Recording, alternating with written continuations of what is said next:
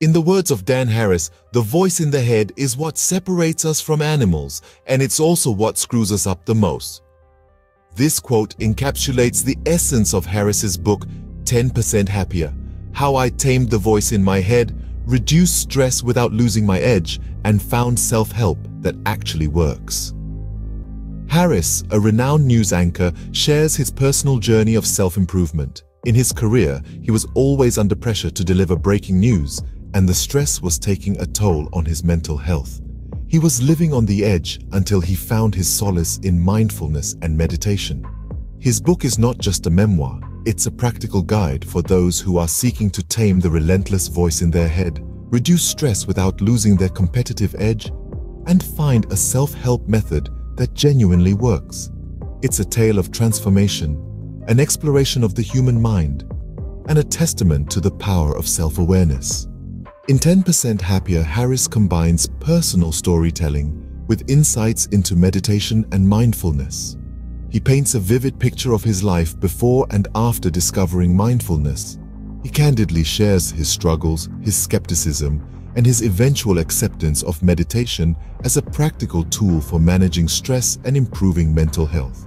Harris also delves into the science behind mindfulness and meditation, breaking down complex concepts into simple, understandable terms. His approach is refreshing, devoid of jargon and relatable, making it a compelling read for both beginners and seasoned practitioners of mindfulness. But what makes his book truly stand out is his honesty. He doesn't claim that mindfulness and meditation are cure-alls. Instead, he acknowledges their limitations and emphasizes that they are tools to help us become just 10% happier. And in a world where we are constantly chasing happiness, that 10% can make a significant difference. As we delve deeper into this book, we'll explore the key lessons from Harris's journey and how we can apply them in our lives. So stay tuned for an insightful journey into the world of mindfulness, meditation, and self-improvement. Join us today as we delve into this insightful memoir and extract its key lessons. One of the primary takeaways from Harris's memoir is the concept of the voice in the head. Now you might wonder, what exactly is this voice? It's that constant chatter, that running commentary in our minds, which can often be our own harshest critic. It's the voice that keeps us awake at night, replaying embarrassing moments from the past or worrying about the future. The voice isn't necessarily a bad thing. It helps us plan, analyze and learn. But when it spirals out of control, it can cause an immense amount of stress and anxiety. Harris himself experienced this during his career as a news anchor, where the relentless voice in his head led him to a public meltdown. So, how can we tame this voice? Harris found his answer in mindfulness. Let's break this down. Mindfulness, quite simply, means being fully present aware of where we are and what we're doing without being overly reactive or overwhelmed by what's going on around us. It's about observing our thoughts and feelings without judgment. When we practice mindfulness, we start to notice that voice. We observe its patterns, its tendencies to wander into the past or future, to judge, to worry. And the more we observe, the less power it holds over us. We begin to realize that we are not our thoughts that we can choose not to engage with every single thought that pops into our heads. This doesn't mean we suppress or ignore our thoughts. Instead, we acknowledge them, let them be, and then gently bring our attention back to the present moment. It's like training a puppy, Harris says. As soon as it strays, we gently guide it back. And the result? A significant reduction in stress, an increased sense of calm, and the ability to respond to situations rather than reacting impulsively. Understanding and taming the voice in the head can lead to a significant reduction in stress. As Harris discovered, it's not about silencing the voice, but about learning to live with it in a healthier, happier way. Meditation, as Harris discovered, can be a game changer in managing stress and anxiety. Let's delve into this transformative tool and its role in Harris's journey towards 10% more happiness. Meditation, at its core, is an exercise in understanding the mind. It's about sitting quietly and paying attention to your thoughts without getting carried away by them.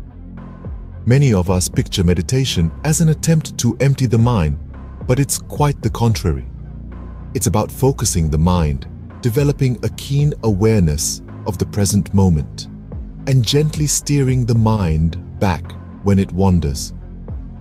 One of the key takeaways from Harris's journey is that meditation is not about achieving a state of eternal bliss, but about creating a space between stimulus and response. It's about giving yourself the room to respond rather than react, a concept that forms the bedrock of mindfulness. So, what are the benefits of this ancient practice? Well, meditation can help reduce stress, improve focus, and increase emotional resilience. It can help us cultivate a sense of inner peace and clarity, even amidst the chaos of our daily lives. These are not just abstract concepts, but tangible benefits that Harris experienced firsthand. But how do we incorporate meditation into our daily lives? Harris suggests starting small. Even a few minutes a day can make a difference. Find a quiet spot, sit comfortably, and simply focus on your breath. When your mind wanders, and it will, gently guide it back without judgment. It's a simple practice, but not an easy one. It takes patience and consistency.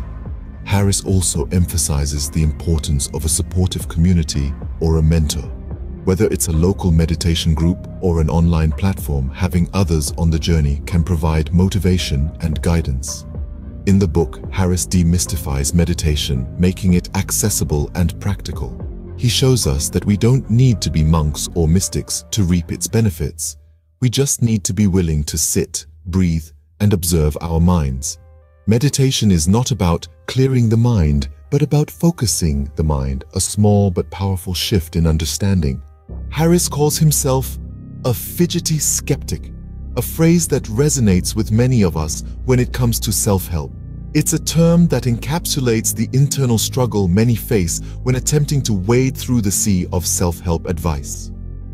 With the myriad of available resources, it's easy to feel overwhelmed and skeptical about what actually works. Harris was no different. He found himself navigating through this maze, grappling with the skepticism that often accompanies the world of self-improvement. But his journey wasn't in vain.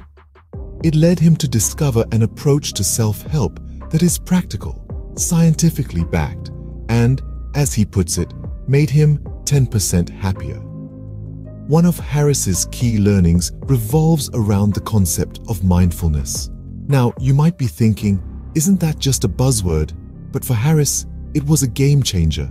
Mindfulness, he found, isn't about eliminating stress or becoming a completely different person. It's about learning to respond to stress in a healthier way, about understanding the workings of your mind and not letting it control you.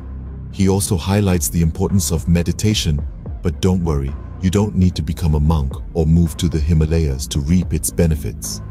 Harris advocates for a practical approach to meditation, something as simple as focusing on your breath for a few minutes each day.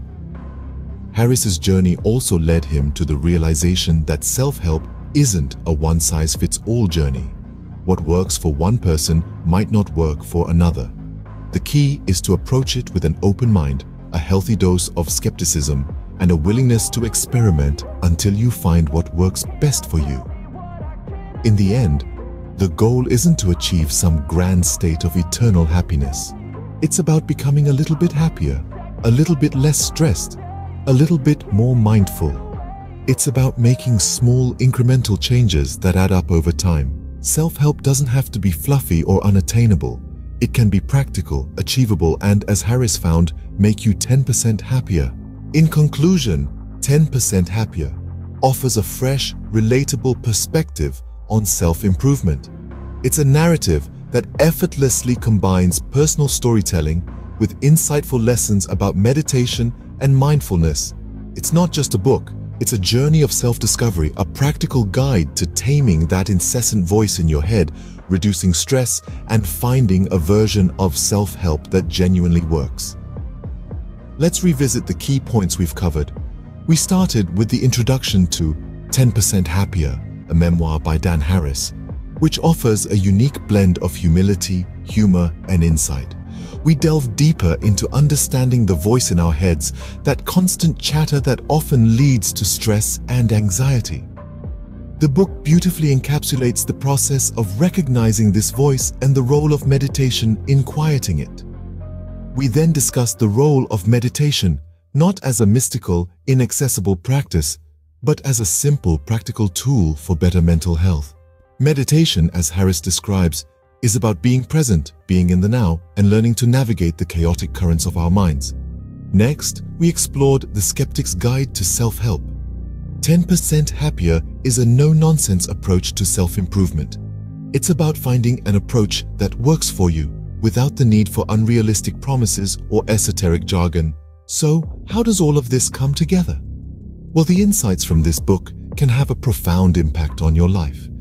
It's about being slightly happier, slightly calmer, and slightly more mindful. It's about progress, not perfection. It's about being okay with being 10% happier. As we part ways today, we hope that you take these lessons to heart. Remember, the journey to being 10% happier starts with a single mindful breath. If you found this video helpful, please subscribe to our channel and share your thoughts in the comments section.